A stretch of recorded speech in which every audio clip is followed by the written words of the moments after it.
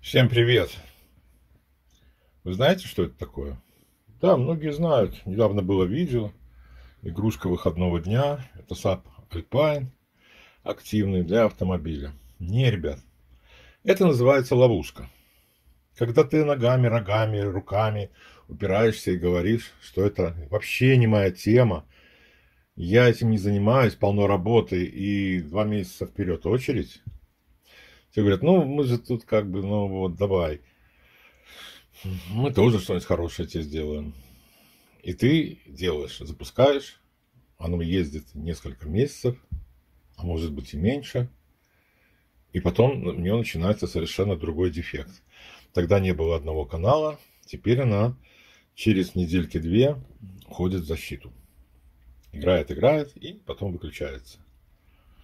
Надо сказать, что усилитель мощности вообще не открывал, не, не демонтировал. Я работал с преампом.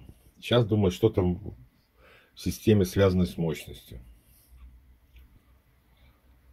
Сказать, что мне это не радует, это не сказать ничего. То есть полно очень реально интересной работы. Нанесли педали, комбо.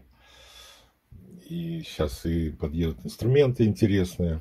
Нет, давайте будем делать старенький Альпайн, тем более с ДТПшной машины, и что там еще где отвалилось, предсказать невозможно.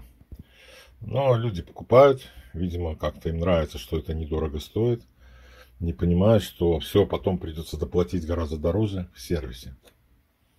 Но это же будет потом. Типа получается кредит, трата времени и мозгоклюйство себе и остальным. Ну и еще иногда изляться, когда этот э, девайс не в первую очередь прямо делается. Ну, вот такое вот вступление. И будем разбирать. Ну вот, разобрал. И что дальше? Ничего не горело. Ничего не понятно. Вот и усилитель D-класса малышок. Померяем сейчас конденсаторы ему стандартно. Но дальше что? Что дальше? Дальше, как бы это ни было дело управления. Проверим. Бесплатный преампа, вот он. Пожалуйста, тебе включается. Сейчас отключен еще конечный усилитель, его подключу. Интересно, с ним работает или нет. С оконечником тоже включается. Плюс-минус 45 вольт у него. Нам запрещает только вот эта платка работу. Что-то ей очень не нравится. Будем разбираться.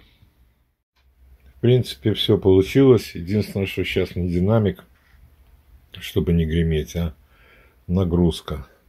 Как всегда, наука о контактах. Вот эта штука здесь болтается. Мне это не нравится. Я даже, честно говоря, не знаю, где еще искать. Но мощность отдает. Сейчас подключу динамик. Обнаружил еще дорванную прокладку окончательно. В общем, ее надо под замену. Может, и с ней были проблемы. Наверное, положу-ка я и следы. И буду собирать.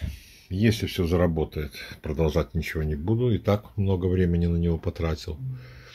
И уже, ну, уже обещаю, честно, пионерское, больше никогда не возьмусь за автомобильные какие-то девайсы. Вот. А если все, что я делал, не сработает, придется делать продолжение. Всем пока.